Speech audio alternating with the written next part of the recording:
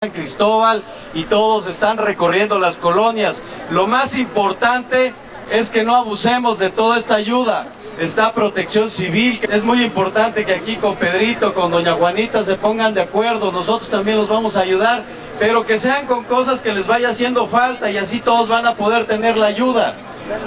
¿Les parece que también nosotros nos sumemos y que nos digan ellos en qué podemos respaldarnos para que no todo sea lámina? Al final de cuentas pues, se van a llenar de láminas, ¿no?